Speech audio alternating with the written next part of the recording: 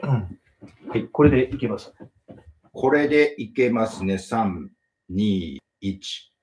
えー、映画パーソナリティ、ことぶきつかさです。ことぶき映画同好会、緊急生配信としまして、今日はハリウッドでも活躍されております、俳優の松坂ゆきさんにお越しいただいております。よろしくお願いいたします。よろしくお願いします。松崎ゆきですよろしくお願いします。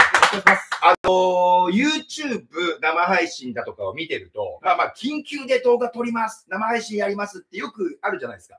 こんな緊急あるかっていうぐらい1時間前に決まりましたからね。ちょっとびっくりしてるんですけれども、まあ、松崎ゆきさんね、まあ、もちろん皆さんご存知の方多いと思いますけれども、ハリウッドでも活躍しつつ、まあ、日本でも俳優として、もちろん自分の立場、えー、礎を、まあ、築いてらっしゃる方なんですけれども、まあ、松崎さん、こういう言い方なんですけども、今ネット界隈で非常に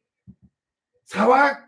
騒ぎが起こっている。いや、提案してるじゃないですか。はい。今、いろいろな問題をね。でね、た多分これ見てる方で、その経緯を知らない方もいらっしゃるとは思うんです。はい、で、その前になぜじゃあ今、今日僕が松崎さんをに来ていただいてお話ししてるかという経緯だけ、かいつまんでお話ししたいんですけども、約4年前ですか。ロサンゼルスで松崎さんに僕はインタビューさせていただいたんですよね。ではい当時は MeToo 問題で、まあ、ハーベイ・ワインスタインのお件があり、まあ、アメリカのハリウッド、まあ、セクハラ、パワハラでものすごくマスコミがまあ騒いでたというか露出したわけじゃないですか。はいその時に松崎さん、もちろんハリウッドで活躍されているということで、お話を聞いたわけです。で、その経緯があり、今日本でも、まあ、映画界、パワハラ、セクハラ問題が噴出しているというか、まあ、あらわになっているっていう時に、松崎さんに3、4年前の映像を再アップしていいかとスタッフさんが聞いたところ、なんと松崎さんから、だったら新しく動画撮りましょうよって言っていただいたわけです。そうですね。そうですよね。ね。じゃあ、そのけ新しく撮りましょうっていうことで、今日実は、えー録画というか収録しようとしてたんですよ。で、1時間前に松崎さんがスタジオに来られたら、あ都内の某所なんですけども、あここある場所に来られたら、急に生配信やりませんかって提案を受け、本当ですかっていうことで、スタッフさんがバタバタしつつ、今始まったという経緯、一応経緯だけ説明させていただきました。はい。さあ、それで、えーまあ、早速ね、約1時間から1時間15分の生配信を予定しております。で、今、ツイッターにもね、松崎さん、僕のツイッターでも今告知しましたけれども、本当緊急なんで、まだ告知、要はこの動画が今生配信で行われていることを知らない方たくさんいらっしゃると思うので、もしね、このね、えー今動画見てらっしゃる方、ツイッターなども含めて、今こんなことやってるよっていうことを広めていただければそうですね。いいですね。ぜひ、あの、どんどんどんどんリツイートしていただければ嬉しいです。あの、今、あの、まあ、僕が、皆さん多分、ツイッターとかで、あの、すごく、まあ、主張、いろいろな主張を繰り広げていることを皆さん多分よくご存知だとは思うんですが、はいあの、本当に冗談抜きで、今、日本の、あの、ありとあらゆるスタジオ、テレビ局とかですね、あと、まあ、その映画の関係する関係省庁とかで、もう、あの、僕のツイッターが見られている状況なんです。本当冗談冗談抜きで。はい。で、あの、多分この今僕たちがこれから話す内容というか、皆さん、皆さんが今から見る内容というのは、おそらく多分、今日本で話題になっていることの一番のその中心というか、核になる部分になると思いますので、でしかも皆さんからのあの質問もあのライブでお答えしますし、うん。あの本当に一切あの忖度とかですね、配慮をしないで、あの日本の業界のためにもえしないで話しますので、えーぜひですね、あの今これをご覧になっている方は、あのツイッターで僕の、えーツイートがあるはずですので、まあ、あのハリウッドガーシーチャンネルっていうあのツイートのちょっと一個上のところにあるはずなんで、それをですね、あのぜひリツイートしていただければと思います。いや、あの、ほんと、茶化すわけじゃないですよ。だって、これは茶化せる内容じゃないから、ただ、ちょっとポップな話でいくと、今、ネット界、もう、ガーシーか松崎かって言われてるんですよ。ぐらい今ちょっと話題になってるわけですよ。でも冗談じゃないですからね。いや、冗談じゃないでしょ？冗談じゃないですからね、それ。いや、本当に今話題じゃないですか。で、この縁があって、まあ、たまたま今回生配信になってきたわけですけれども、まず前提として、多くの方が今、松崎さんが何を提案しているか分かっていると思います。提案というか定義というか問題発言を、ある部分に対しての、まあ、意思表示ですよね。これは、まあ、ざっくり一言で言うと、日本映画界における、まあ、パワハラ、セクハラの問題がやっぱり露出してきてるわけじゃないですか。はいまず、松崎さん、もともとね、まあ、意識を持った上でハリウッドで活動していることは僕は十分知ってます。はいハーベイ・ワインスタインの件もね、まあ、この寿映画同好会でも動画アップさせてもらいましたが、はい今ね、なぜこの運動というか、はい。まあ、この提案をしているかと、今、後々個別に聞いていきますけども、はい。まずざっくりとなぜ今こういう行動を起こしているのかっていうことをちょちょっとなるほど。えっと、僕はまあ20年間ハリウッドで活動してきて、うん。皆さんがご覧になっている映画だったら、例えばラストサムライでですね、あの、渡辺謙さんの息子さんがですね、通りでこう、刀を、刀を持って、で、歩いてて、で、憲兵が、なんだその学校は、そのちょんまげは！って言って、こう、あの、その、侍をですね、いじめて、うん。ちょんまげをぶった切るはい。っていうシーンでですね、はい。その憲兵の役をやっていて、で、まあ、それが2001年とかですね、うん。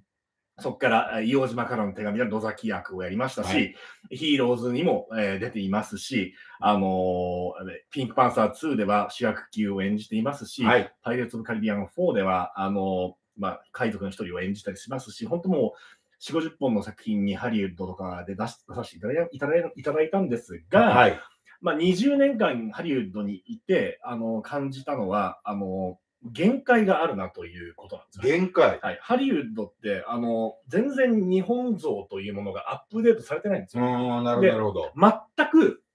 今の現代の日本の例えばまあ多様な部分とかっていうものが一切反映されていない状態の日本というものを延々と描き続けていて、で例えばだからその、まあ、ラストサムライに代表されるようなあの、まあ、白人の救世主、うん。ホワイトセイビアと呼ばれるストーリーラインですよね。つまり日本というちょっとハリウッド、アメリカよりも文化的に劣ったうん。国に、えーしあアメリカ人の白人の主人公がやってきてで、最初はなんだこの国のこの文化はっていうふうになるんですけども、その文化にどんどん感化されていって、で、最終的には、まあ、その文化を救うというような、そういう、まあ、流れのことを、えーまあ、ホワイトセイビア、はあの白人の救世主っていうんですけども、うん日本を扱う作品になると、ほとんどがまあこのフォーマットになるんですね。なるほどね。あの本当、うんラストサムライもそうですし、でアウトサイダー、アウトサイダーもそうですし、はいまあ、言ってみれば東京バイスもそういうところもありますし、ああの本当にまあもうずーっとそればっかりなんですよ。うんでしかも、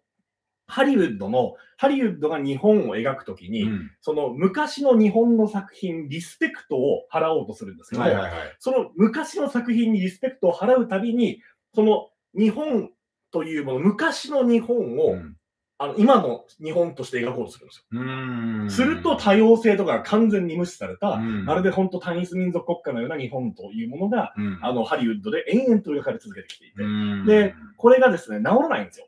あのこれね、治らないっておっしゃるけれども、例えばハリウッドでも、まあ、いろいろな活動家の方、俳優の方々も、例えばアカデミー賞、オスカースピーチで、まあ、人種問題、女性の立場とか、まあ、いろいろこう、発言はしてるじゃないですか。はいでも、実情として、ハリウッド、まずハリウッドの話を今聞いてますけれども、変わってないって松崎さん思われてるわけですか？まあ、特にあのそうですね、多様性、ハリウッドが言う多様性というものは、本当の意味でのグラデーションではないんですよ。例えば、じゃあ黒人、アジア人、白人、あのええーラテン系っていうふうに、そのカテゴリーの人を一人入れておけばいいよねっていうような発想なんですよ。で、それでその、まあだから、あの、アジア系という時に、まあ、あの、アジア系に見える人は、あの、アジア系のそのカテゴリーの中に入れてもらえるんですけど、はいこれが、あの、ミックス、ミックスルーツで、例えばミックスの人だと、その、アジア系としてもカテゴリーに入らないし、うん別の人種にも入らないってことで、これカテゴリーから漏れるんですよ。あーで、そうなると、そのハリウッドの多様性の中にその人たちは入れないんですよ。で、これがな例えばどういうことかというと、例えば、ハリウッドが日本人のキャラクターをはい作品に出したいと言ってきました。はいで僕はあのここ2、3年ぐらい、ハリウッドの作品のキャスティングをももろに手伝ってきましたので、うんうんうんハリウッドがどういうことを求めているかとを知った上で話しているんですけど、はい。その日本人をハリウッドが求めてきましたっていう時に、第一条件として向こう側が提示してくるのが、この人は日本人に見えるかなんですよ。ああ、なるほど。で、その見えるかというのは、うん実際にその人が日本人かどうかというのは関係がないんですよ。例えば、アメリカ人、世界の観観客が見たときに、昔の日本映画に出てくるような日本人像ですかっていうことを言ってるんですよ。うんで、僕とかになると、こう、天パで背も高くて、うんその、あむかあの昔ながらの日本人像に入ってないよはいはいはい。だから、その僕とかがハリウッドで日本人の役のオーディションに行くと、うん。あの、オーディションで平気でそのキャスティングの方から、あの、あなたは日本人なんですか？っていうふうに聞かれて、で、あの、はい、日本、日本人ですって言ったら、えっと、ご両親は両方とも日本人ですか、で、はい、あの、まあ、日本人なんですけども、はい、言って。で、日本はどちらの出身なんですか？あ九州です。九州ってどちらですか？あ南の方、あ、南の南部系の日本人なんですね。っていうふうに言ったりするんですよ。はいはいはい。で、南部系日本人って書かれたりするんですけど、で、あの、だからその、ハリウッドが考える日本人像という完全なステレオタイプの日本人像があり、うん。で、ここに当てはまらない人は、ハリウッドは日本人として見てくれないんですああ、そうよ。いう。だから、そうですだから、ハリウッドが作る、今からその出てくる Bullet Train とかいうクソ映画とかがありますけども、あのクソ映画とかに出てくるその日本人の像っていうのは、まあ、ハリウッドが考える traditional、つまりその伝統的な日本人像の見た目の人しか、そういう、ああいう日本人のそのあのキャラクターとしてはあの使ってもらえないし、そもそもキャスティングされない。うんで、あのハリウッドはその例えばミックスルーツの日本人は日本人だっていうふうに認めてないんですよ。うんあの日本人に見えないって。見えないってことですよね。本当に日本人かどうかって関係がないんですよ。で、それで、その、あの、キャスティングするときとかに、その、例えば、あの、そのミックスの人たちはですね、この人はどことどこのミックスだっていう情報までも提出しないといけないんですよ。うんで、向こう側が、ああ、なるほどな、でも、でも今、日本いうなんか、あの、えーえーハーフの人のその日本人っぽくない要素がいらないから、この人はダメっていう。で、見た目が向こう側の考えるステレオタイプな日本人像に当てはまってる人は OK で、で、見た目が、えーそうではない人は、たとえ日本人であろうと、日本生まれ、日本育ちであろうと、絶対にハリウッドは日本人として認めてくれない。だからこれがハリウッドの今の多様性っていうことの実情であって、多様性、多様性、インクルーシブネスとか言っときながら、実情はキャスティングをする際に、その多様性、多様な日本人というものを全部排除して、完全なるステレオタイプな日本人を当てはめてるんです。で、これがハリウッドの実情だったんです。いや、だから今、僕は松崎さんの話に聞いて、まあ3、4年前のインタビューの時もね、ある程度聞いたんですけれども、これものすごい貴重なお話だと思うわけですよ。で要は僕は日本で、まあ、映画を紹介する仕事をメインでやってますけれども、アメリカは最先端だと。要は人種差別みたいなものもなくそうようとしていると。では映画芸術価格アカデミーもね、まあ、人種、まあ、多様性みたいなのも含めた上で会員も変えてきていると。だからゴールデングローブが今ちょっと下火になっていると。要はあの白人の方々しかね、あえーまあ、黒人の方々みたいな方があれか、投票権持ってないみたいな、まあいろいろゴールデングローブも言われてるじゃないですか。でかなり先行ってるなっていう風なイメージあったんですけど、松崎さん、今実情を聞くと、まずアメリカの今ハリウッドの話なんですけど、一応形、体裁上は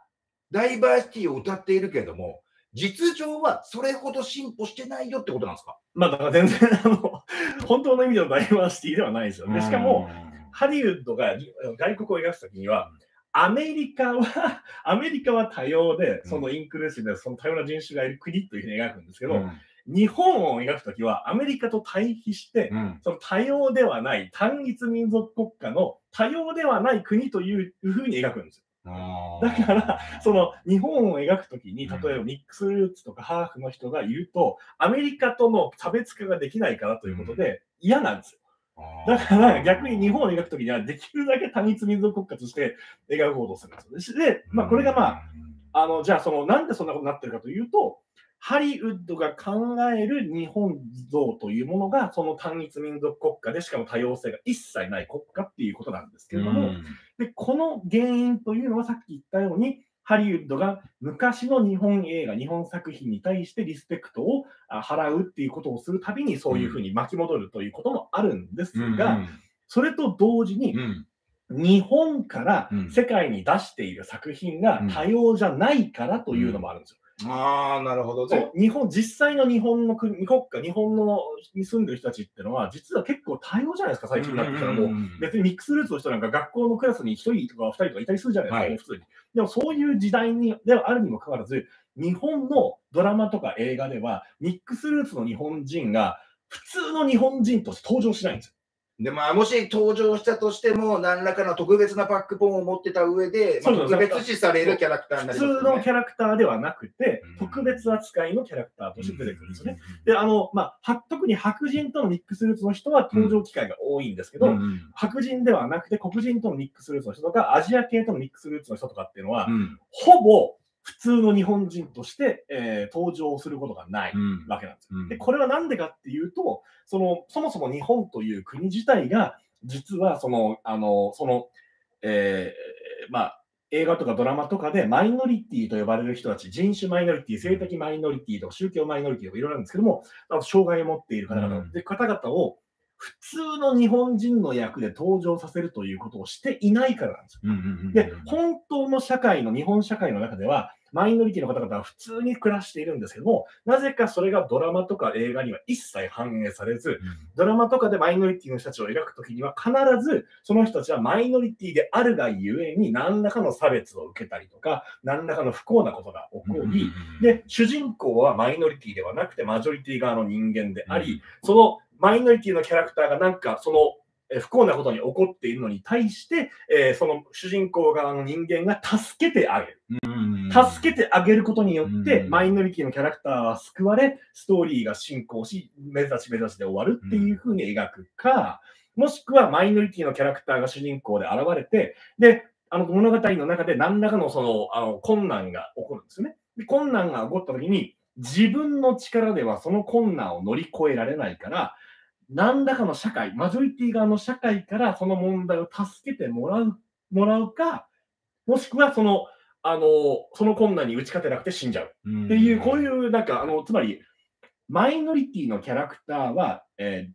自分の力では困難に打ち勝つことができず、必ずマジョリティ側の助けが必要だという構図。つまり、まママイノリティはマジョリティに対して劣っているという構図の作品を延々と描き続けているんですよ。これね、今ね、松崎さんにね、これ質問なんですけれども、今のお話を聞いてると、まずいろいろ演出だとか、スタッフさんの待遇、いろいろあるかもしれないけど、今、脚本だと思うんですよ。で今、物語の前提として、要は、そのマイノリティの方々、まあ、一国にはできないかもしれませんけれども、その方々が、まあ、虐げられるだとか、で、まあ、主人公に助けられるみたいなことじゃないですか。で、ああと、あとキャスティングですね。日本はそのキャスティングがつまり、そもそもオーディションをやっていないので、そういう普通の、あの、そういう、えーっと、まあ、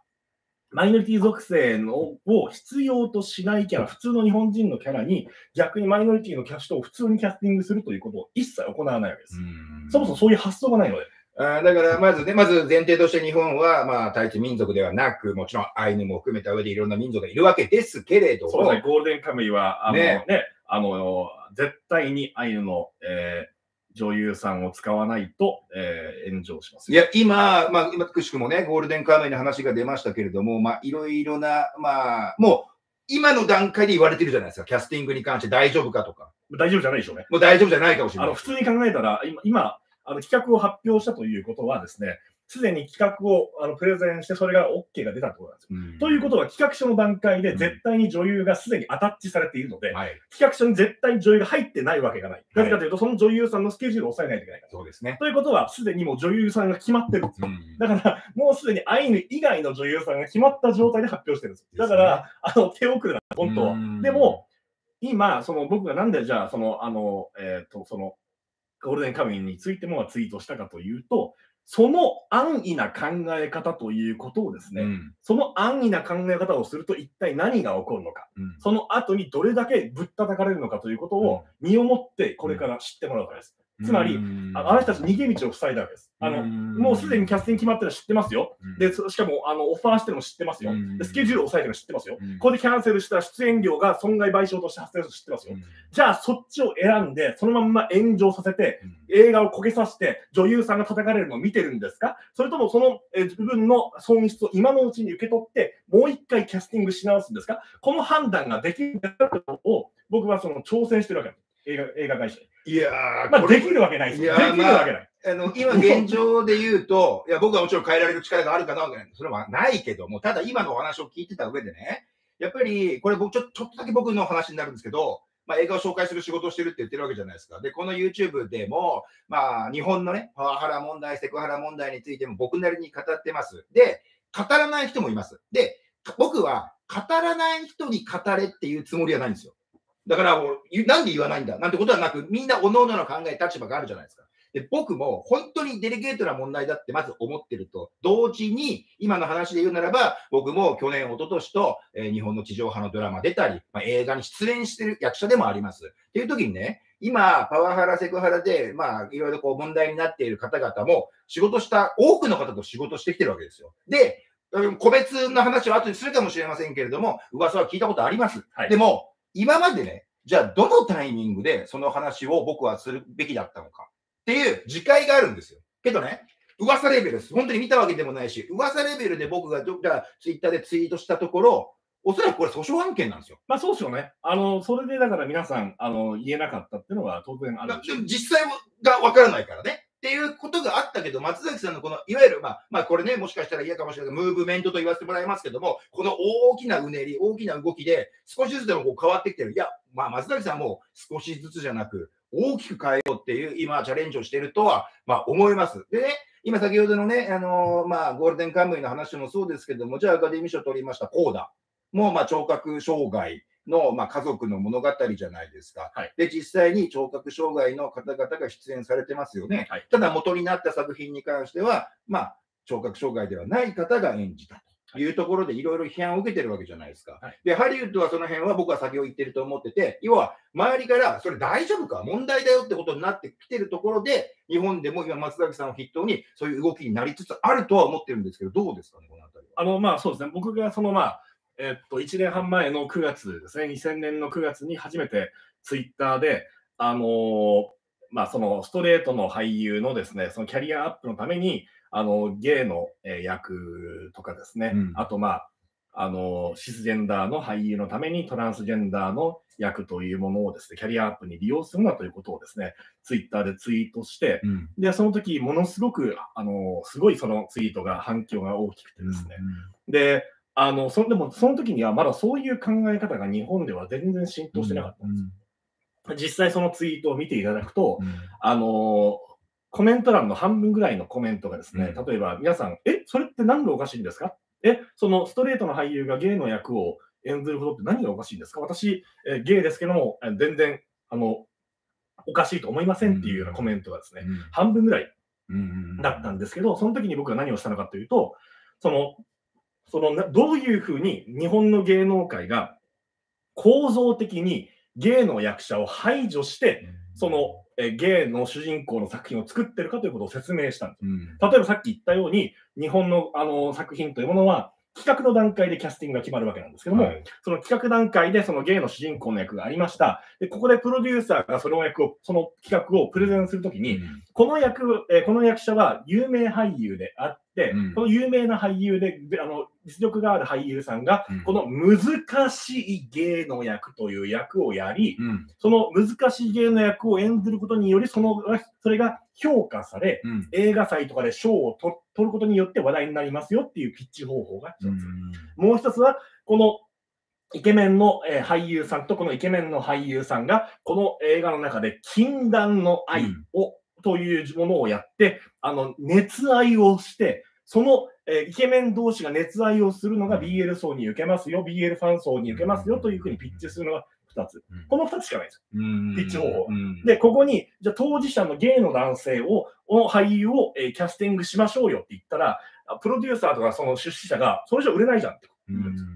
で、これだから、日本では絶対に、その、例えばゲイの主人公の作品であったとしても、ゲイの俳優さんが使われないんですよということを説明したんですよ。つまり、構造的に、ゲイの俳優を排除することでしか、ゲイの作品が作れないという構造的な人種差別を行っているにもかかわらず、日本の映画人たちは、例えばリベラルな映画人、進歩的な映画人っていう人たちが、自称の人たちがたくさんいますけども、その自分の目の前に構造的な人種差別があるにもかかわらず、その構造的な人種差別を一切改善しないままで、作品としては、ゲイの方々を社会で受け入れましょうねとか、なん。か聞こえのいいことを言っといて、で、そのゲイの人のストーリーを使って、ストレートのは監督、ストレートの俳優、まあ、もしかしたらクローゼットで、その実オープンじゃないだけであのゲイの方かもしれないですけども、うん少なくともそのオープンではゲイではない俳優さんを使って、えーそのストーリーをですね、使って、そのお涙ちょうだいのストーリーをやったりして、自分の監督のクリエイティブの発散、自分が面白い作品を作るための道具として、そのゲイの役というものを使ってる自覚がないんですよ。ででも実際には自分はそのキャスティングの段階からゲイの俳優に一切チャンスを与えないという差別を肯定してるんですけども、その差別があること自体に気がついていないから、あの平気でその、まあ、そういうことをしていて、うん。でそれを、まあ、その説明したんですよ、ツイッターで。で、そしたら何が起こったかっていうと、そこから、その1年半前のそのツイートから、あのツイッター上でも、そのえマジョリティ側の俳優がマイノリティの役をその奪うということ、ね。機会を奪うという、そのまあ、レプレゼンテーションって英語では言って、今最近では日本語では表彰というふうにあの表すに、えーあの証券の章ですね、はい。っていうふうにあのいう表彰というふうに言う。んですけども、その表彰の機会を奪っているということに対しての、その反発が、うん。マイノリティコミュニティからの反発が出るようになったうんですよ。ん。で、その時に初めて僕は、あ僕がもしリスクを恐れずに、ツイッターとかでこういうふうに発言すると、確かにもしかしたら僕がそれによって怒らせる人もいるかもしれない。例えば今までにゲイの作品、ゲイの主人公の作品を撮ったことで映画監督の人は自分のことが責められたと思うでしょう。うんで実際にゲイの役を演じたことがある俳優さんは自分のことを責められたと思うでしょう。うんで、それによって僕はその人たちのと関係が悪くなるかもしれない。うんただし、そのリスクを僕が取れば、うん日本の業界にその、えープラスになる、そのポジティブな影響を与えることができるということを知ってしまったんです。よ。うん。で、そこから1年半前から少しずつ、じゃあ僕が損を引いて、僕が貧乏くじを引くことによって、日本の業界を良くできるのであれば、それはいいなと。うん。それは構わないなと思って、まあ、その貧乏くじをどんどんどんどん引き続けた結果が今に至るわけですよ。延々と引き続けたんですよ。貧乏くじを。まあガーシーか松崎かって言われるぐらいまで来ちゃったと。皆さん、今、あの、あのまたつあの告知ですけど、ツイッターでまたリリツイートしてください。私がどういう、あ今、どういう話をしてるかということを皆さんリツイートをして、あの、どれだけやばい話をしてるかっていうのをですね、あの、皆さんぜひリツイートしていただければ。そう。でね、これで今、前半に松崎さんのお話は聞く、もう今聞いてるわけですけれども、まあ、中盤から後半にかけて、本当にね、あの、今日松崎さんが本当忖度なく、何でも答えるって言ってくれてるんで、まあ、コメントあったら後で拾います。で、あの、遡って拾うんで、一応コメント残しておいてください。で、周りの方々にもしよかったら今ね、これ本当緊急で、告知本当直前でやってるから、なかなか伝わってないかもしれませんけども、広めていただければな、なんていうふうに思います。いや、松崎さんね、はい僕ね、言いたいのがね、いや、今回ね、このチャンスもらったわけですけれども、僕も含めてなんですよ。はい僕も含めて、勉強しなきゃいけないなと思ってるんですよ。やっぱ日本にいて、まあ、まあ、役者だとか映画パーソナリティ、映画を紹介する仕事をしてて、で、問題提起されてるわけじゃないですか。はいだからね、さっきの議論で言うとね、これちょっとね、あの、勘違いされると困りますけれども、さっきのね、誰が何の役を演じるかって、結局、殺人者じゃなくても殺人者は演じられるんじゃないかっていう議論があるわけですよ。そうですね。で、それ聞くと、なるほどなと思ったりするじゃないですか。ちょっと、なんか、あそこにも整合性があるだなんて思っちゃう部分も実際あるけども、ただ、よくよく考えてみれば、そういうことじゃないと。でも、あの、うん二つあるんですよ。はい。理由が、はいそのそういう話じゃない。一つはまず、そのまあ当事者、マイノリティ当事者による表彰、表彰というのは、そのまあ演じて世界に向かってその自分という存在をですね、うんあの出すこと、レプレゼンテーションすることを表彰っていうんですけども、とマイノリティ当事者による表彰によって、一つは、その非当事者、つまりママイノリティじゃない人がマイノリティを描くときうん、に、その当事者じゃないから、うん自分の、ま、このマイノリティはこういう感じだろうという偏見が入り込むわけなんです、はい。その描写に。はい。で、特にクリエイターもマイノリティじゃなかった場合は、脚本家もマイノリティじゃなかった場合は、マイノリティのことを知らない人が偏見で書いた脚本を、マイノリティのことを知らない人が偏見で演出して、マイノリティのことを知らない俳優が偏見で演じた、偏見、偏見、偏見でかけるかけるかけるで、偏見の塊のそのマイノリティ像というものが世界に向けて発信されるわけです。で、これの何が問題かというと、マイノリティ当事者の人たちはですね、その実生活でそういうメディアが出す偏見の被害を受けることになうん、るんですよ。んなるほど。あのこまあマイノリティだ、こういう感じなんだっていうのを、うんそのなんかあの偏見で描いたことによって、あたあの人もマイノリティ、なんなんのマイノリティだからこうに違いないというふうに、実生活でその差別の被害を、偏見に基づいた差別の被害をうん受けてしまうんですね。これ実際ね、松崎さんも、まあもちろんね、もう前提ね、これ前提なんですけれども、あのハリウッドでね、オーディションも受けたことあるでしょうと、スタッフさんとの絡みもあるでしょうと。で、自分がそ当事者っていう意識あります？いや、要は、あの、待って、差別を受けてきた、僕は、僕はだから20年間そのマイノリティ俳優として日本、あの、アメリカでやってきて、実際にその差別の被害を受けてきたわけです。うん、つまりハ、ハリウッドの作品が、あの、日本人というものは格闘ができたりとかですね、あの、えー、目が切れ長で、ちょあの直毛だっていうことを出し続けた結果、うん、あの、まあ、僕はですね、そのアメリカに住んでいて、あの、あなたの店舗は、えー、本物なので、本物ですよって言ったら、でも日本人は店舗はいないでしょって言われたりとかですね、あなたはあの顔がですね、日本人に見えないと。あの目が優しすぎるとか言われたりとかですね、あのそういう偏見の差別を僕が受けてきたわけなんです。だからその自分が世界に向けてどういうふうに自分という存在を出すか。で、それをもしそういうふうにしなければ、どのように偏見が広がっていくかということに対して僕はすごくやっぱり、あのまあ、センシティブなわけなんですね。これね、あの、20年前から活動されているっていうのをおっしゃいました。はい、これね、質問です。はい、20年前と20年後の今、ハリウッドでその今状況っていうのは変わってますか？まあまあ、あの、なんというか、あの、ハリウッドは、あの、20年前の段階からちょっとずつ変わってはいるんですけど、うん、でもあんまりその、今の日本とは全く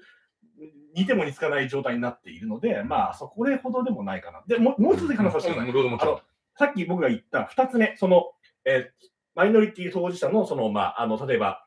えー、殺人者の役は殺人者、うん、で、あの、医者の役は医者の役っていう話に関して、その、まあ、偏見を、えー、偏見に基づいた描写を出して、実生活の差別を強化しないというのが一つですね。二つ目は、マイノリティの属性というものは、俳優が演じられるものなんだということを、その、それを出しちゃいけないんですよ。マイノリティの人たちは生まれた時からマイノリティであり、別にその演じてるわけじゃないんですよ。はい、例えばトランスジェンダーの人は、トランスジェンダー、例えばあの性自認が女性の方は女性なんですよ。で、これをあのシスジェンダーの男性の俳優が演じて、で、その映画の中でじゃどんなあの素晴らしい演技をしたっても関係ないんですけど、その,、その後にじゃ授賞式の時に、全く違う、そのじゃあ男の状態に戻って、授賞式に現れました。うん、その瞬間何が起こるかっていうと、それを見てる人たちは、あトランスジェンダー女性ってお芝居なんだ。演技なんだ。あの、なんか男性が演じてるものなんだっていうふうな偏見をばらまくことなんですよ。これが、ものすごい差別を生むわけです。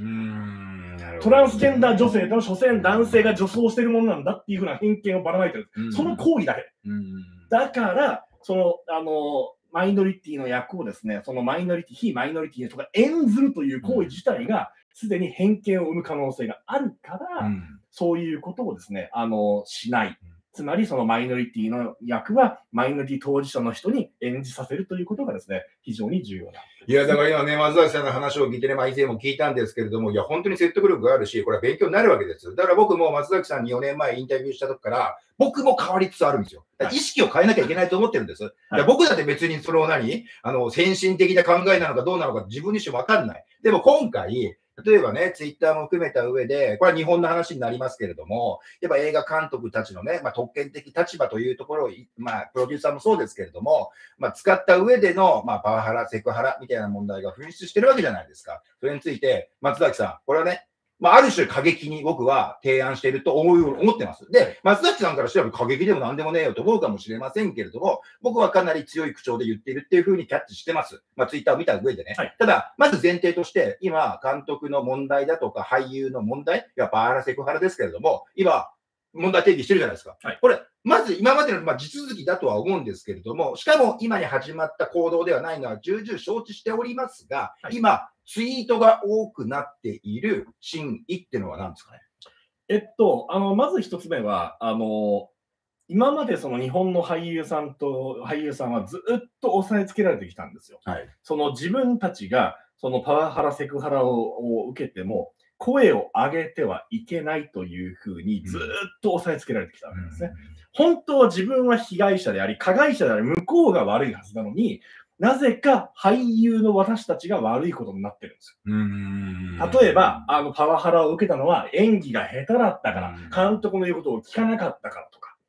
セクハラを受けたのはガードが甘かったからとか、自分からなんか、あの、自分から役を取りに気に入りに行ったんでしょとか。で、それが、その認識自体に僕は挑戦をしてるんです、まず最初そうじゃないんですよ。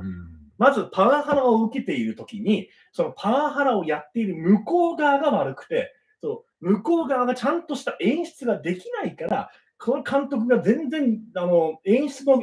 基礎も知らないで、なんかちょっと見栄えのいい映画を撮ってきて、これまでなんか名名監督とか呼ばれてるような、そただそそこら辺のそのなんか演出の基礎もできてないような人が、日本ではその名監督ぶってパワハラという、本当、あのにありえない、人としてやってはいけない演出方法を使って、あの自分の自分の映画を作るという欲を満たすために他人を踏みつけにしているのがパワハラ監督ですよ。うん。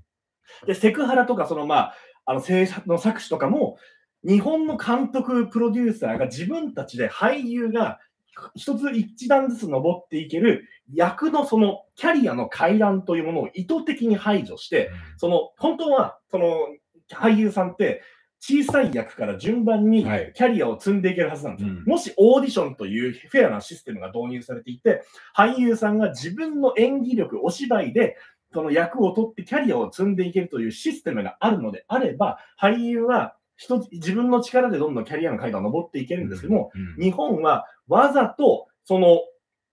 キャリアの階段というものを、はい、あの監督、プロデューサーが取ってしまってるんですよ。なぜ取ってしまってるかというと、その部分を自分たちの利に、自分たちにそのうま旨味が返ってくるように使ってるんですよ。例えば、この役をこの事務所に、えーオファーすることによって、で、この事務所さんのこの、うんあの、なかなか知名度の俳優さんを使わせていただくことによって、この俳優さんがバラエティ番組とかで、えー自分の作品を宣伝してくれますよ。で、その代わり、この作品にこの俳優さんを使わせていただくので、バーターでこの俳優さんとこの俳優さんを使いますよっていうふうに、交渉材料としてキャスティングを使っていて、で、そういうふうに自分たちになんか旨味があるようにというふうに、キャスティングを材料を使ってきたんですよ。だからその考え方があるから、例えばワークショップオーディションというふうに、あキャスティングしたいんでしょ？だったら私たちにお金を払って、このワークショップというものを受けなさいと。そしたら私たちに旨味があって、自分たちの作品はインディー系で予算も少ないけど、このワークショップオーディションをすることによって予算が増えて、200万とか増えて、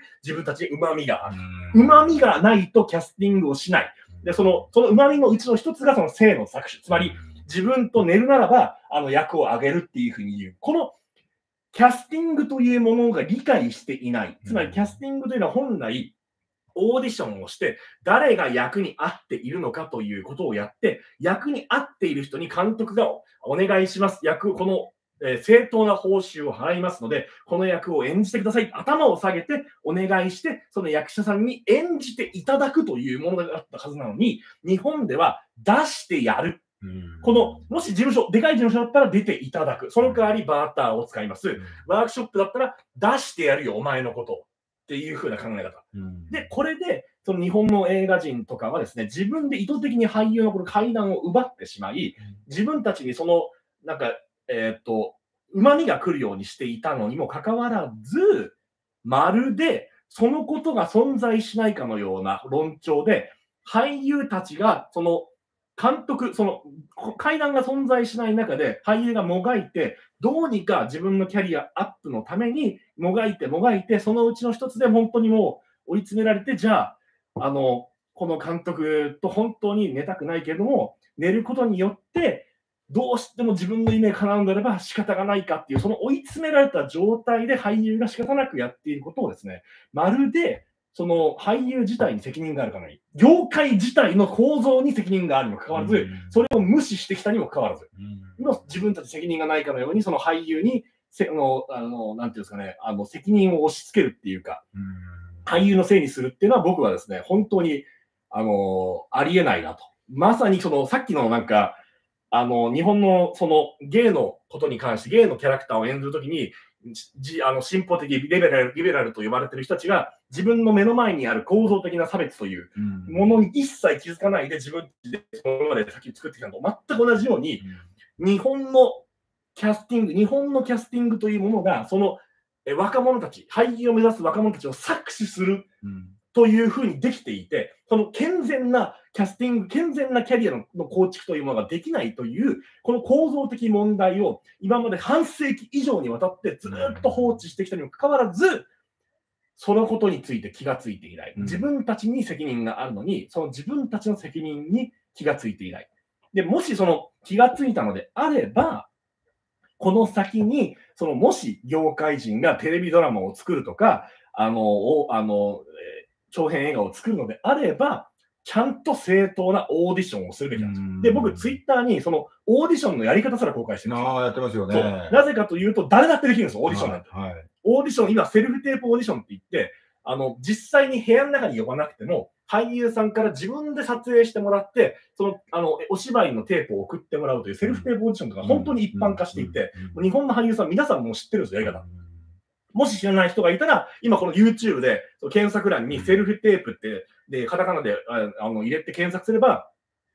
史上最高のセルフテープの撮り方っていう、そのはい。セルフテープの撮り方のビデオをですね、うん。僕とそのまあ、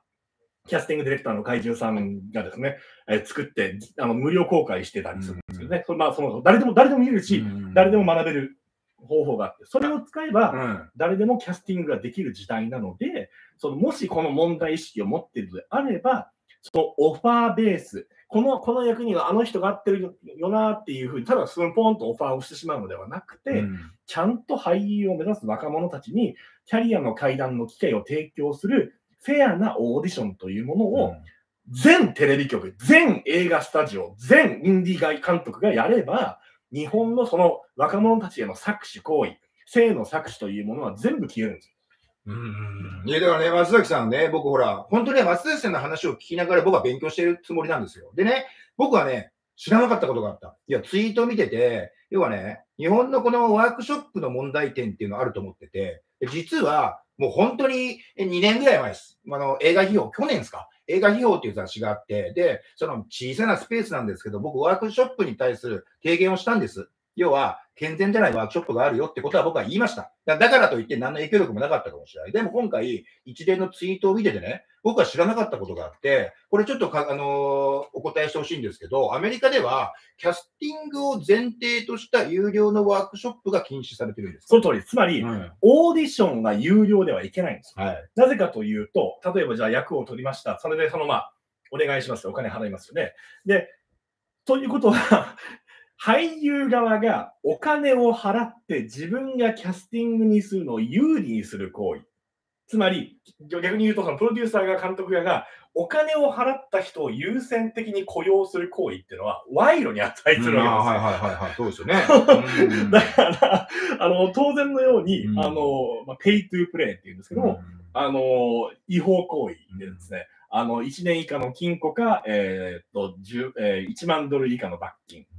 でね、これで、これね、ワークショップに関してはね、僕はワークショップを受けたことがないんです。だ要は、まあ、その、あの、演技の勉強したことはあるけども、でもね、ここ本当日本グレーなんですよ。まあ、グレーって言い方はおかしいですよ。になっちゃってるわけです。あつまり、つまりワークショップが有料なのは問題ない。そうですよね。だからここで勘違いしちゃいけないんですよ。要は健全なワークショップもあるんですよ。でも、例えば今言ったような、もうちょっと踏み込むと、そこに現れる俳優の方だとか、まあ、演出家の方とか、映画監督、プロデューサーが、まあ、例えば有料でワークショップ、演技を勉強してるよっていうところで、ちょっとこうね、まあ、声をかける、飲みに行く、まあ、もしかしたらそこで搾取が行われてるっていう現状があるという話も聞きます。だから、ここの線引きはきっちりしなければいけないと思ったんですけども、結構時間経っちゃってます。で、まだまだ聞きたい話があるんですけど、コメント結構ね、松崎さん今来てるわけですよ。だから、これちょっと答えられるやつ、戻りますからね。で、今コメントアーカイブでこう拾いますから、ちょっと答えられるものがあったら、ね、あ、でもね、やっぱモザイクストリートの話もね、ちょっと今いきなり来てますけれども、これちょっと説明してもらってもいいですか？えっと、モザイクストリートというのはですね、YouTube で公開されている、えー短編映像なんですけど、10分ぐらいの。皆さん、この後に、えモザイクストリートというふうに検索欄に、えータイプしてもらえた、もらえればですね、あの、普通にモザイクストリート見ることができるんですけど、何かというと、あの、日本で、もし日本でマイノリティのキャラクターが普通の役で登場していたら、どのような作品が生まれてくるかということをですね、実際にあの、えーお試し版のドラマとして作って、えー公開しているんです。で、その皆さんです。実際にそのモザイクストリートをですね、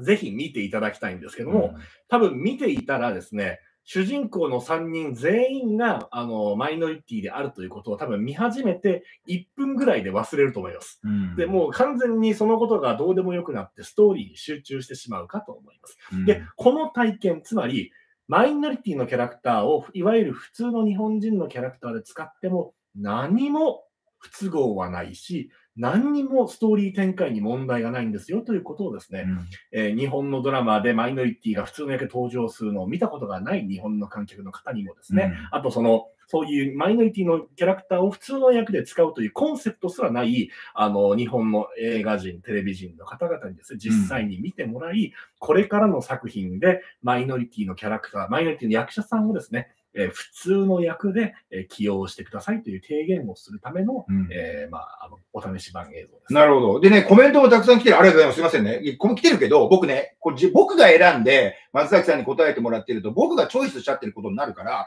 結構来てるんで、これ、はいなんか、なんかこう見てもらって、はいなんかこれ、じゃあもう全然、あの、じゃあ頭から言って、なんか答えられるものとかあったりだとか、はいちょっとあの、松崎さん自身でちょっと選んでもらってもいいですか？本当はね、僕がチョイスすればいいんだけど、ほら、なるほど、なるほど。で、僕が、忖度しないようにってことですか？今、正直、原田雅人さんのコメントが来てるんですよ、原田雅人さんが。で、それを僕が言う、言わないっていう選択を取るのはどうかなと思うから、はい。松崎さん答えられる範囲で、はい。なんか、なんか、あの、あとこれを答えたいとか、あとこの質問から、じゃあどういうふうなあの意見があるかみたいなやつ選んでもらってもいいですか？まあ、先にじゃあ、その原田雅人さんについてお話しすると、はい。その原田雅人さんがですね、うん。セットで、その、あの、怒鳴ったりとかですね、その、あのごご自身がやってるワークショップから連れてきた俳優さんとかをですね、あの、結構、あの、まあ、セットで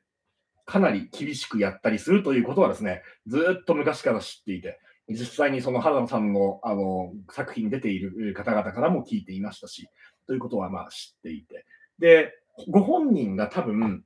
あの、そのご自身がやってることがですね、その今のスタンダードからすると、パワハラであるということにおそらく気がついていないということを僕は知っていた。いや、俺ね、松崎さんね、本当にね、今の、本当僕大事だと思ってて、で、間取るわけじゃないし、僕は、正直松崎さんべったりでもないし、いや、原田雅人監督の僕インタビューしたことあるんですよ。でね、今ちょっとまさに僕芯食ってると思ってて、で、これはすごく陳腐な例になるかもしれないけれども、昔の野球部の体罰じゃないけども、お前たちのためにやってるんだみたいな感覚をがあったとして、これこれはもちろん今の現代的にはアップデートされてないし、非常識なんですよ。でも、手は出してないとか、要は、散った激励をしてるんだとか、周りも受け取っているんだっていう、では罪の意識みたいなものが薄い場合があるとは思うんですよ。で、あの、その原田さんのかことに関して言うと、うん。例えばそのしおんさんとか、はい。あの、榊、あの、榊榊秀夫さんとかにとはまた別の次元の話だと思うんですよ。はいはいはい。向こう側は、あの、性加害とかの話であり、まあ、あの、もう本当に、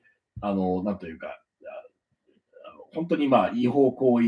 的なことだと思う可能性があるわけですよね。だからそう今、だからそこ、いちょっと個別で考えなきゃいけないってことは、まず前提としてはありますよね。そうですね。原田さんの監督の。あの、で、その、まあ、原田さんのそのセットで怒鳴ったりしているということは、そのツイッターとかで僕がその紹介していますけども、記事とかでですね、普通に出ちゃってるんですよ。はい。あの昔、これまでの記事で原田さんがセットで怒鳴り散らしていたとか、それによって恐怖感を感じたということをですね、俳優さんがインタビューで答えちゃってるんですけど、それが作品の宣伝の美談として扱われちゃってるんですよ。いや、だからね、そこはすごく難しくて、で、変わらなきゃいけないかもしれないけども、要は、役者も、リップサービス的に、いや、監督には結構しごかれましたよ、みたいなことを、後々映画を撮った後、プロモーションで言うじゃないですか。で、それを言うのは、あの、もちろんその人が本当にそういうふうに思っている可能性もありますし、それをそういうふうに言って、ちょっと笑いに変えないと、あの、やってられないっていう可能性もありますし、まあね。あの、まあ、いろんな可能可能性があると思うんですよ。実際には、うんあの、本当に面白くないと思っていても、あの、まあ、そこでは笑い話的なあ扱いになってしまうってこともあると思あと、そのコメントをするのは正直主役級ですからね。主役級の方がコメントするのであって、まあ、そのね、まあ、番手で言うと、その人の方々とかの、まあ、扱いとかもで、ああるのよ、ね。日本の俳優さんたちはうん、実際その、あの、さっき言ったようにキャリアの階段がない状態なので、うん自分の手で、例えば演技法、お芝居というものを勉強して、自分でキャリアアップ、ステップアップするっていう階段がないから、うんその実際にセットでの経験を通じて、俳優として成長していくということが、日本ではなぜか一般的なうんでだからなぜか日本だけでは、監督が俳優にお芝居を教えるっていうわけのわからないことが起きてる。いや、だいや、これで、松崎さんね、これいいですか？これね、見てる方も含めてですよ。これ、僕も以前聞いたことあるけど、これね、そこ理解されてない人は多いんです。でここですげえ大事で、要は、監督はいわゆる演出家であり、はい俳優を導くといえども、はいこうしろ、ああしろっていうのは、観観念としてあるんですよ。はい人が多いんですよ。はいだから多分今ね、松崎さんのその話話聞くと、どういうことって思ってる方いらっしゃると思うんですね。はい。ちょっと説明してもらってもいいですか？えっと、まずそれ、あの本当ちょっと戻らないといけないんですけど、うん。まず日本の脚本構造に問題がありまして、うん。あの僕がそのツイッターで今あの提示しているその皆さんにこうした方がいいですよっていうふうに提示しているものことの一つが、え日本式脚本をハリウッド式脚本に変えましょうよっていうことをですね、皆さんに訴えかけているんですけども、どういうことかというと、うん。日本式の脚本というものはですね、あのほとんどがセリフだけで構成されていて、うん。しかも、その情緒、情的な、なんていう、なんですかね、その情緒を感じるシーンとかで、点々点とか、こう、めちゃくちゃ多いっていうような、あの、はえーあの、脚本構造になっていて、行間を読む能力と、あと、点々点が何を表しているのかというのことを読む能力。今、このシーンでは、どういう風な見た目なんだろうと想像する能力というものを強制する。うんそれがないと、ちゃん脚本を読めないというような方式になっている。うんこれが、その、えー監督が求めているえお芝居が何かわからないという原因なんです書いてないから。うんうん書いてないということは、この監督だったら、この行間、この点々点をこういうふうに読むだろうなっていうふうに空気を読むうん。ということが必要になってくるんです。監督からしたら、お前たちは自分の考えている行間を読めないから使えない奴らだなっていうふうに思っちゃってるわけです。でこの日本式の脚本がそういうふうにパワハラを生むあの根源になっているから、でそのしかもその今そ僕が言ったことが全てのこと、ああの日本のあの映画制作の中で、俳優だけではなく、あの照明さんとか小道具さんとかにも全部それがうん適用されてて、行間に書いてないことを皆さん自分たちで読まなきゃいけない。で、うん読ま読め読めないから、演出部の人たち、つまり助監督とか監督とかが口頭で、口で説明しなきゃいけないんですよ。うんこのシーンは、このセリフはこういう状態で、こういう感じの見た目で、こういう風になってるぞっていうのを、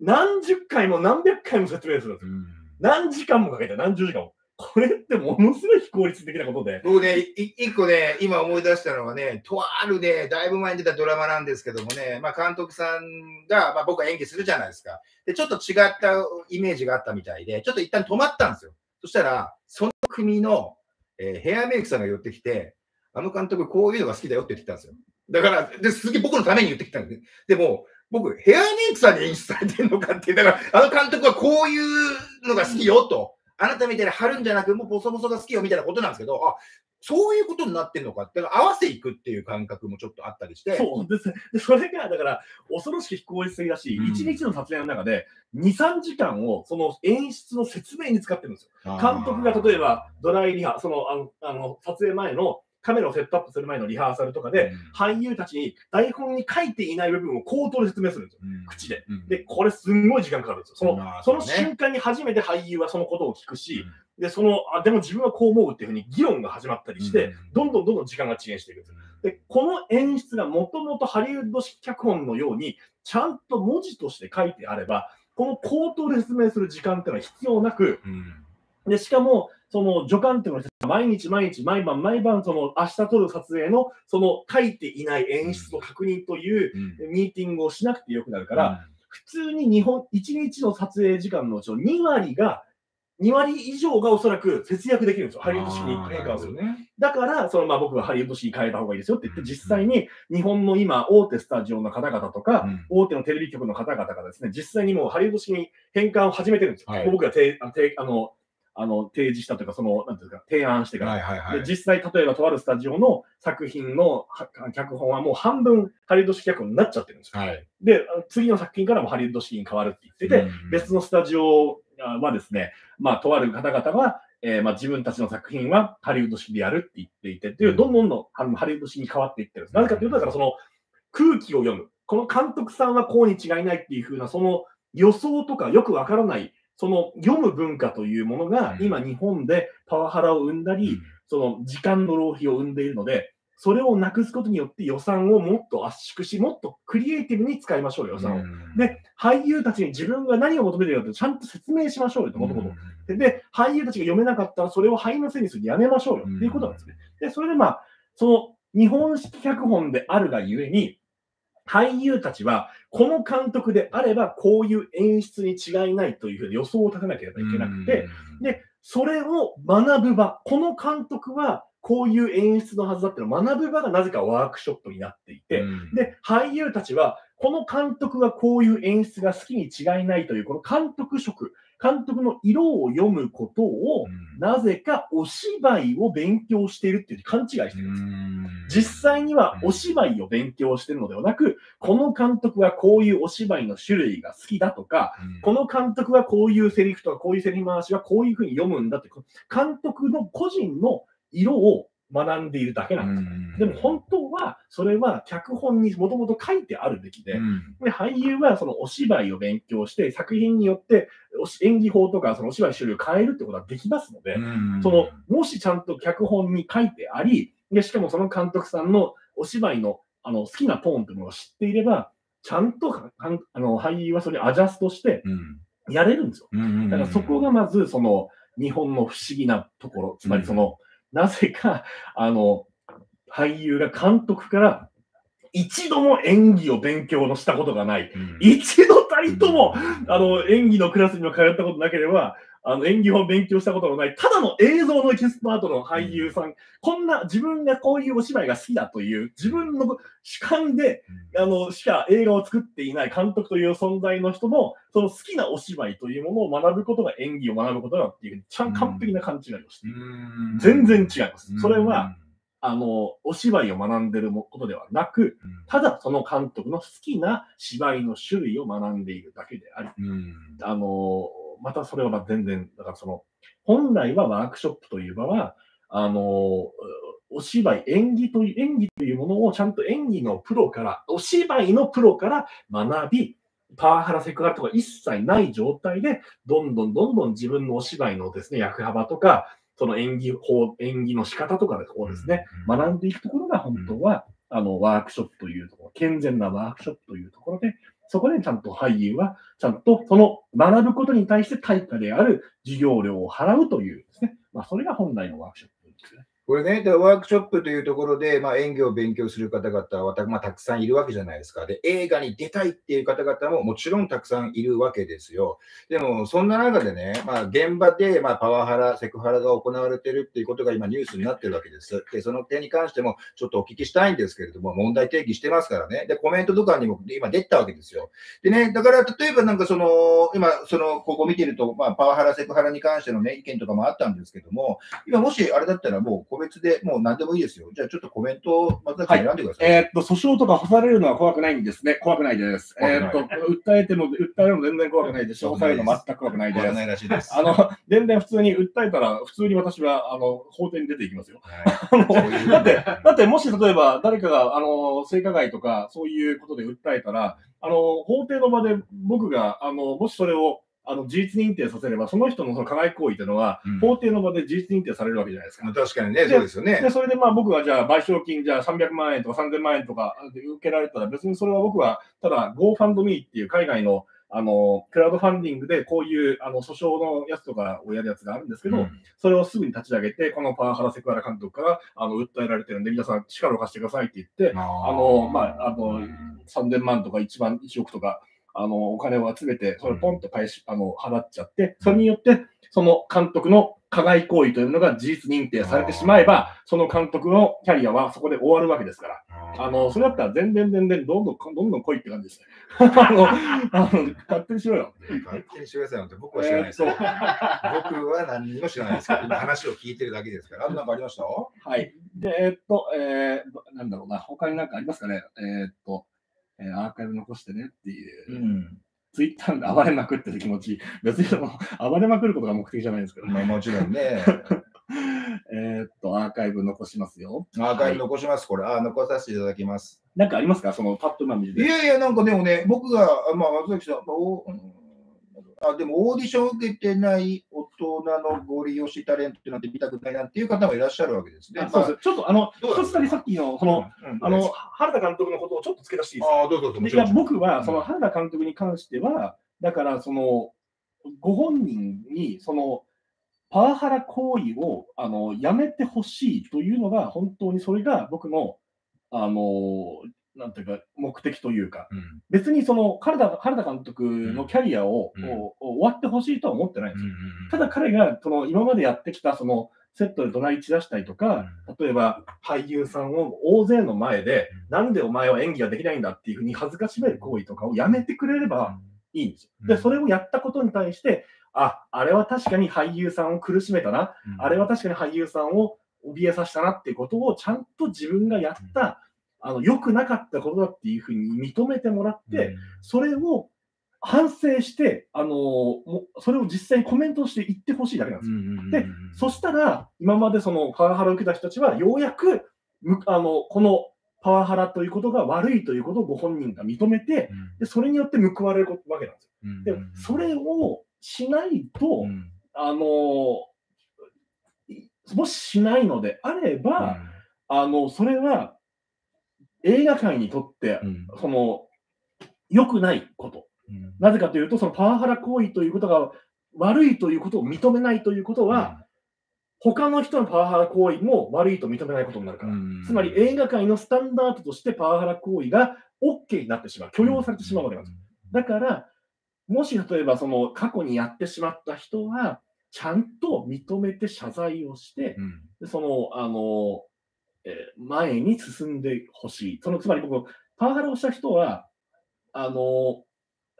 セカンドチャンスを与えられるべきだとは思ってる人なんですよ。うんただし、そのためには、ちゃんと自分がやったことが何が悪かったのかということを認識し、それを公に公言公言あの公言するということが絶対条件だと。いうだからまあ、個別、まあ、いろいろもね、えー名前が挙がってる映画監督、映画プロデューサーいますけども、これ何度も言いますけど、やっぱ個別にやっぱり状況違うっていうことと僕は思ってて、うんそれ以外のね、話もいろいろこう出してますからね、まあ、松崎さんが本には過激とは思ってないかもしれないけど、僕はね、本当震えながらツイッター見てますからね、怖いな、怖いなって思いながら僕はチラチラチラチラ見てますけどもね。あの特にその、まあ、僕がツイッターとかで、うん。あのまあ、例えば、あの西村義弘ですか、あの、あの、えーヘドローバで子供をボコボコにした、あもう本当にあれって、あれを見て、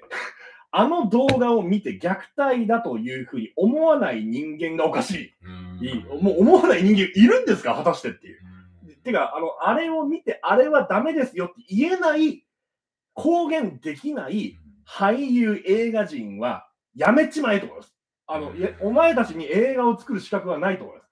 あれすらもダメだって言えないレベルのモラルの、あの、あ人間は、業界で、その、つまり、その、セットで、ここまで、これは絶対に言ってはダメですよっていうので、あの虐待が入らないのであれば、その人は、あの、映画作りをする資格がないと思います。でもね、それは僕も単純にツイッターを静観しているだけです。で、西村監督は僕は以前自分がやってたラジオにゲストに出てきていただいたことがあって、面識はあります。個人的な付き合いはありません。で、西村監督が、まあ、ある種ね、まあ、松崎さんはちょっと嫌嫌がるかもしれないけど、破天荒な監督みたいなところで売り出しているところも知ってます。でも、ああいった状況は知らなかった。で、今ちょっとやり合ってるというか、こう、意見を交換したりもしてますよね。間接的にか、監督とね。で、それでまあ、だからその、なんでじゃあ僕が例えば原田正監督とか、あそのシオン監督とか、西村監督とかに対して、ツイッターでじゃあ、あの、ちょっと荒っぽいコメントとか、わざと挑発するような、煽るようなコメントとかを書くじゃないですか。はい。で、なんでじゃあ僕がそういうことするかっていうと、皆さんが恐れている、皆さんが絶対にこの監督には歯向かってはいけないというふうに言っている方々は、加害者なんですよ。そのあなたが恐れるべきなもの人ではなくて、向こう側が自分たちがやった加害行為に対して告発されることを怯える存在なんですよということを皆さんに知ってほしいから。ああいうことを言われても仕方のない人間だということを皆さんに認識してもらうためです。あの人たちが今まであなたたちが怖がっていたのがおかしいんですよ。あの人たちがやってきたことは間違ってるんですよ。で、間違ってることを責めていいんですよ。で、あの人たちは責められるべき人なんですよ。ってことを皆さんに知ってもらうため。で、僕が、例えばじゃあ、ひどい言葉を使って、うん。あのゴミくず監督だと、あのいうふうなことを言ったとします。そしたらいも、もちろんそれに対して不快感を感じる人はたくさんいるでしょ。うんはい。あの言い過ぎだとか、はい。あのーただし、僕がそういうふうに言うことによって、ゴミくず監督っていうふうにいきなりこう、うん。ここまで行ってもいいですよってバーがいきなり上がったから、うんそれ、ゴミくず監督までは行かないにしても、パワハラはやめてほしいよねっていうぐらいは言えるようになるじゃないですか。うん。そういうふうに、皆さんに、だから、そういう加害行為、ああいう虐待行為というものは責められるべきだし、うん。責めていいんですよ、責任を取らせていいんですよということを皆さんに実体験、多分皆さんは実自覚はないと思うんですけど、うん。それをですね、その、えーまあ、その批判することを皆さんに OK なんですよと知ってもらうために、わざと、あの、強い言葉とか荒い言葉を使って、あえーのボロクソに書いたりするというのは、いや、もちろん僕もね、松崎さんのツイッター、そういう意味拝見させてもらってます。で、これは僕は松崎さんの個人的な戦い方なんだっていうふうにまあ思ったわけですよ。その通りです。あの、うんあの、まあ、僕はだからその、えーまあ、是枝監督とか深田監督という方々は、昔ながらの正統法な戦い方をやってらっしゃい、はいはいはい。で昔ながらの正統法の戦い方が、もし日本の芸能界、日本の業界を変えることに対して有効なのであれば、とっくの昔に変わってます。とっくの昔に変わってる。うん。あの、でも、実際は何十年、ほんと変わってないわけうん。ですなんで変わってないかというと、そもそも、一般の方々、み皆さんの問題意識がないからなんです。うん。ここにこのような問題があるんですよということを皆さんが、一般の方々が問題意識として持って、この部分を業界は変えるべきだというふうに圧力をかけて、初めて業界は変わるんですよ。うん日本がよく日本は外圧がないと変わらないって言いますよね。。外圧って何かというと、外国からの圧力の略なわけです。うんどこからか変われというふうな圧力をかけられて、うん初めて日本という国は変わるんですよ。はい。でも、日本の国国民たち、日本の人たちは、圧力をかける、変われというふうに圧力をかけることに対して、なぜかアレルギー体質になっていて、うんでその圧力をかけることイコール脅迫だっていうふうに思ってしまってるんです。うんでも実際には違うんですよ。うんそうじゃなくて市民運動とか、この政府に対してとか、そのおかしいから変われっていうふうにみんな声を上げて圧力をかけることっていうのは、本当であれば正当なその運動、正当なその社会に対して変われというふうに言う運動なんですよ。これが組合であったりとうん。か市民団体であって、にアメリカではまあその外国では外国ではプレッシャーグループ、うん。プレッシャーをかける団体、圧力団体と呼ばれてるんですけど、日本では圧力団体と呼ばれると、なんかその、あの、恣意行為を行うような、右翼のようなキャラ、あの、団体的に思われてしまっていて、あー株式ね、総会みたいなので、ちょっといやいやいや言うのが圧力団体みたいなそうそうなイメージはありますそうそう、でよね。でも実際には違うんですよ。うん。で、その、だからまあ圧力を、えーまあ、かけるという行為に対して、まあ、あの、悪いことではないということをですね、あの、知ってほしいっていう。私は今何の質問に答えたんですか？いやいや、でも今の話はほら、その戦い方っていうところからね、まあちょっと口調が荒いというか、書き方が荒くなったところで賛否両論起きてるのは間違いないじゃないですか。いや、その言い方ですよ。あ、そうそうそう。あそのそれで、その、えー原田、あの、原田監督じゃなくて、あと、是枝監督とか、是枝さん。とかは、正統法な方法で戦っているん。ですけど、僕は、その方法ではもうすでに、日本の社会という、日本の業界には変わらないということが、今までの歴史の中ですでに証明されているから、なぜかというと変わってないから。だから、じゃあ今までの方法では変わらないのであれば、何か新しいことをやらなければ絶対に変わらないなと。じゃあその新しいことというのは何かというと、じゃあ僕が、あの、そのツイッターというものを使って、人々に問題意識を提起し、ここがおかしいでしょ、明らかにということを提起することによって、あの皆さんに問題意識を持ってもらい、皆さんに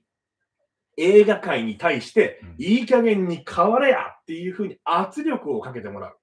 そうすることによって初めて是枝さんとか黒さんのやっている提言というものが飲まれるわけなんですよ。で、あとまあその僕はその他の他の映画会社とか監督とか制作会社にハラスメント撲別撲別宣言を出せと。いい加減にしろよ。っていうふうにまあ圧力をかけてますけど、それもまさにだから、その圧力をかけるということによって、業界を良くできるということをですね、実際に見てもらうということもあります。いや、松崎さんがこれだけ言うと、いわゆる何ですか、ステートメントですか？って言います？なんかこのは発表みたいなことする、しない方がまずいみたいな環境に。あ、もう絶対まずまずいっていうか、まずいじゃない、あの。あのは発表できないということは、うんあの何か危ない案件、つまりそのはハラスメントが起こった作品を掲げてるって言ってることですからねまあ、ってことになっちゃあのいますよね。今今は今作ってる作品の中にはパワハラセクハラ監督の作品がありでそれがその自分たちで発表してしまったらその作品をそういう爆弾を抱えることになるから、うんあの発表できないっていうことを、うんまあ、公言してると同じです出せないということは。。で、まあ、実際に僕が知ってる限り今そのまだこれが今実はそのスタジオとかテレビ局でそのハラスメントを出そうとしているうん。あのところもあってですね、うん。複数あってはい。そういう動きがあるんですけど、うん。逆に出せないところも知ってるんですよ。で出せないところは、なんで出せないかっていう理由すらも知ってるんですよ、実は。うん。そのこの作品があるから出せないっていうことも知ってて、で、やっぱりその、痛い腹がある人たちが、うん。あハラスメント宣言が出せないっていうのを実際に知知っちゃってるから、、あの、あなたたちはハラスメントを撲滅宣言が出せないということは、うんあの、ハラスメントを許容していて、ブラックな撮影環境の中で撮影したんですよねっていうのが、その、なんというか、事実として知ってる。でもそれだから、あのー過去作も含めてですか、いやいやいや、あの、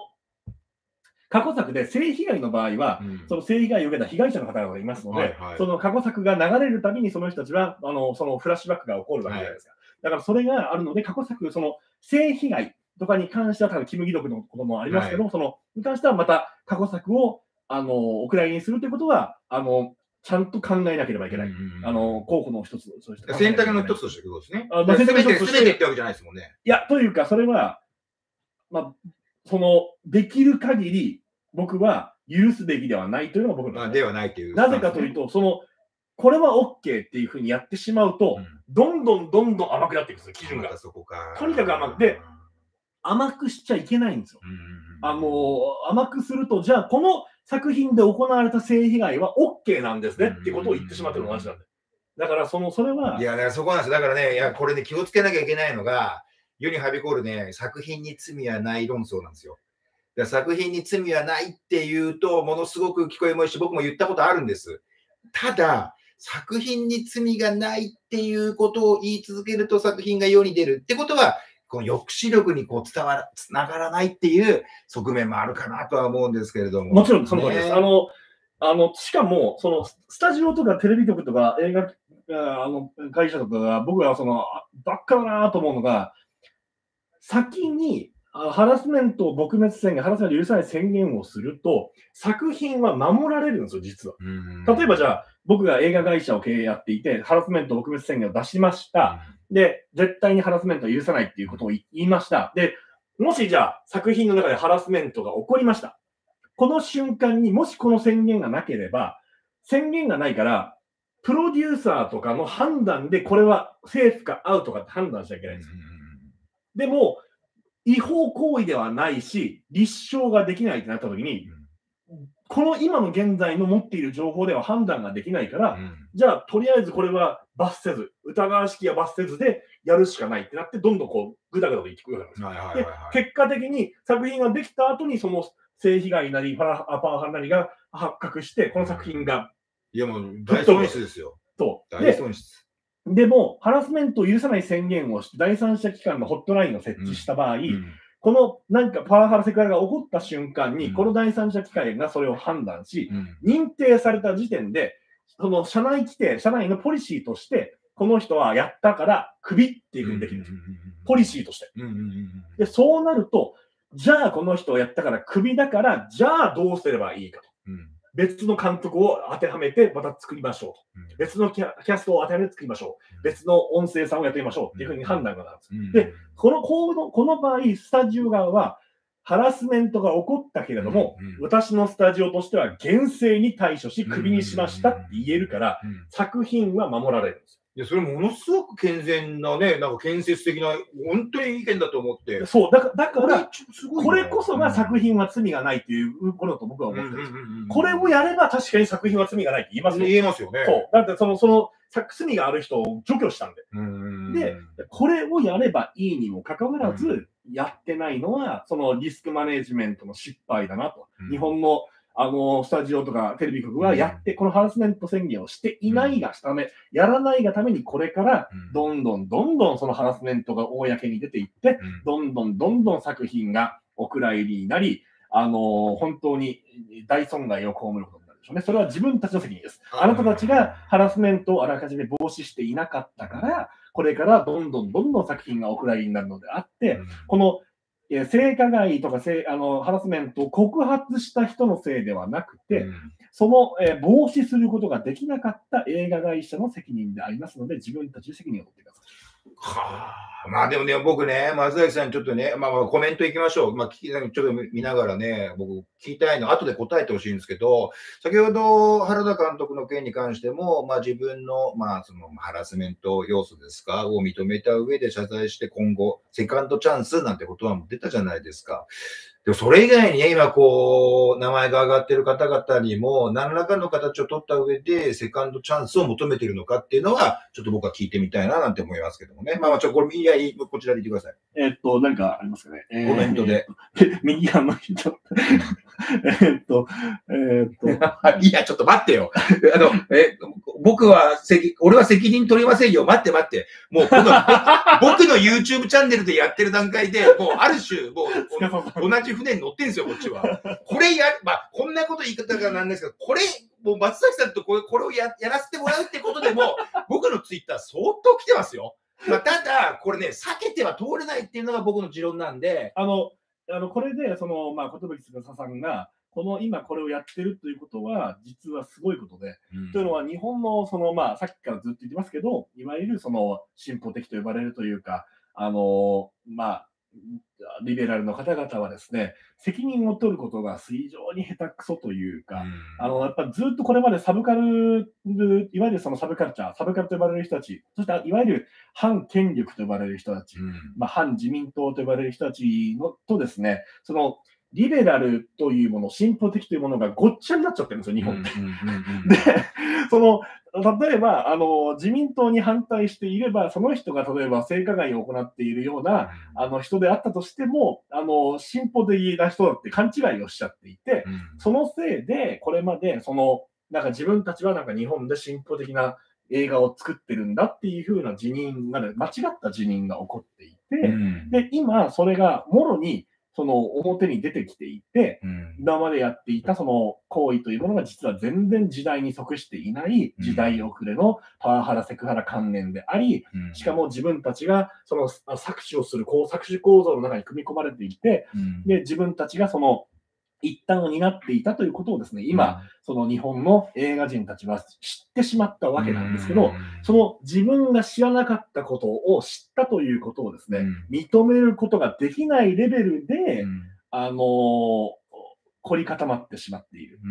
で、ここで例えばじゃあ、その今、あの日本でですね、その、うん。まあ、えーリベラル、進歩的って言われていた映画人の人たちが自分は確かに自分の今までの価値観っていうのは古かったと。パワハラ、セクハラということに関しても古かったし、あの、そういう、えーっと、まあ、女性軽視のですね、作品とかの、えーさ撮っていたりとか、そういうセクハラとかをしてる、パワハラをしていた人たちを持ち上げていたということに関して、反省をして、あの、良くないと、これからは変わるべきだというふうになるなら、うん。ああの、良かったんですけども、いや、だからね、いや、松崎さんがおっしゃってる通り、僕ね、今日何回も言ってんだけど、僕も完全じゃないんですよ。僕が全て分かってるわけじゃないんですよ。だから、例えばハリウッドで活躍されてもいますし、そういったところに造形が深い松崎さん、いろいろ考え方もあるし、もうさっきのね、あのー何ですか？要は、ルールブックみたいなやつを作ろうみたいな話あったじゃないですか。で、そしたらなんかパワハラセクハラあったら、もう背景会社からもうお前はクビだってなって、じゃ違う表現を、いや、映画がほら、公開されないっていうのが一番辛いわけですよ。まあ、僕もね映画を紹介する立場だからっていう、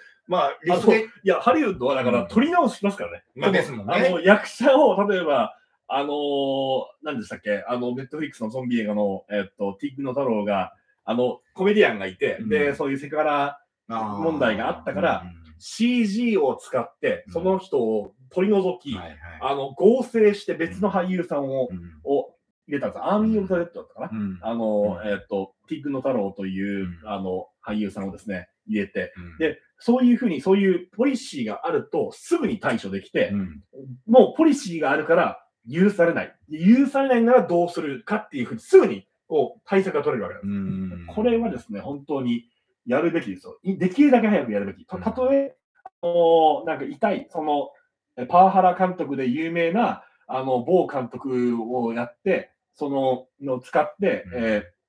あの作品を撮っちゃった、あの、まあ、某配信会社の人たちも、あの、もうその作品はどうせ世に出せないんだから、あの、さっさと、あの、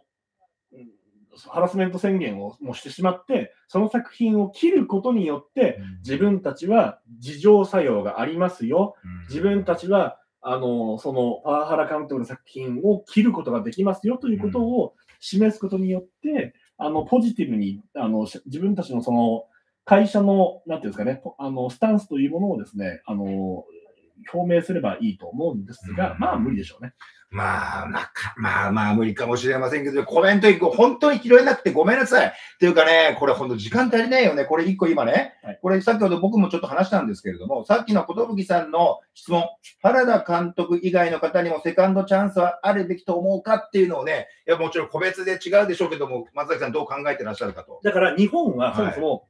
パワハラの常識というものがなかったんですよ。はい。だから何がアウトかという常識も俳優もなければ監督もない。で、しかも過去もパワハラ監督のそのパワハラ行為がなぜか映画人の中では武勇伝として語り継がれていて、憧れになっちゃってたんですよ。はい。で、それの中で育ってきた監督さんたちのパワハラ概念というものが歪むのは確かに仕方がないといえば仕方がないです。日本の監督教育自体がめちゃくちゃなんで。日本の監督教育自体がちゃんとした演出方法を教えていなかったせいであり、パワハラ講習をしていなかったせいであり、役者にやってはいけないことっていうものを教育していなかったから今があるわけです。だから、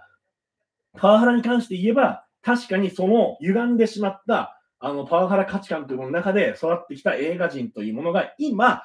自分がやってきた行為が悪いと知ってしまったのであれば、それをまずは公言し、で、その反省することによって、で、そのでしかも過去にやってきたことを悪いと認めることによって、セカンドチャンスへつながる、つながる可能性ということは必ずあると思います。だからもう多分ね、もう以前にも話聞きましたけれども、まあアメリカでね、まあセクハラ、パワハラで言ったらやっぱハーベイ・ワインスタインから MeToo 始まってるわけじゃないですか。多分ハリウッドで働く方々で、ハーベイ・ワインスタインにセカンドチャンスをっていう人います？いやいや、セクあのセクシャルはダメです。まあセクそこはダメですね。あの性加害とか、あのセクハラは、あのもう、あの僕は許すべきではないとはいはいはい。まあ前提ね。パパワハラの場合で、はいなあのセクハラは人間としてダメだから。うんそのセクハラはパワハラ教育とかの話じゃなくて人間としてダメなレベルだから、あの社会人、プロの、プロ資格を剥奪されるべきだと思います。映画界というものは本来、プロの、プロの世界というものがあり、例えば、あの、あディレクターズギルドに所属している監督だったりとか、俳優だったら、あの、俳優組合に所属している俳監督あ、俳優っていうのが、まあ、プロの免許というものがあるわけなんですよ。うん、本当は。うん。でそういうプロとしてのスタンダードが守れない人はプロ免許を剥奪されるというのが本来の姿であり、で、その、セクハラをするということは、あの、人間として、もう社会人の一員としてダメな人ですので、あの、えーまあ、せせ特に性加害をしてしまった人はさようなら。でセクハラに関して言うと、性加害まで言ってセクハラになって、そのその人の常識的に、に本当に自分で自覚がなく、性搾取をしていないのであれば、もしかしたらそのか被害者の人がそのトラウマになっていないのであれば、もしかしたらその講習によって、あの価値観を改めて、今ではこのこういうことセクハラに当たるので、ダメですよとか。でもまあ、あの、あのね、記事で書いてあったような、あの、某監督のそのセットで、あの、胸を揉ませろとか、そういうのはもう、うんそういうのはもうダメです。そういうのはもう、あの、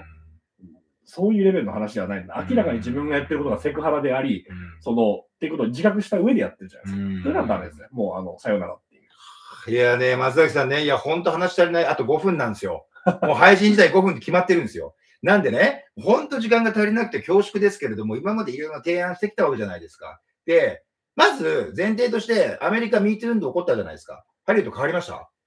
もちろん変わりました。変わりましたあの全然全然変わりましたよ。やっぱりその、うんスタンダードというもの、その厳しくなりましたから、やっぱあの、ああいうふうにちゃんと性加害とか、そういうものが公に出てしまう。つまり罪は罰されるのであるということをし皆さんに知ってもらうということは、やっぱすごい効果があるわけです。で、だから今回、その僕、あの、某あの大手新聞社の人に、なんで週刊誌を選んだんですかっていうふうに聞かれたんですが、はいはい。なぜかというと、大手新聞社が仕事をしないし、大手新聞社がそういう性加害とかについて自己調査をして、自己調査の中でこれは事実だと認定されたら報じないからです。あの、それはなぜかというと、芸能関係の話で、そういう自己調査でうん発表すると、ゴシップを報じられてると思われるから、新聞の価値が下がるというふうにメンツがああるので、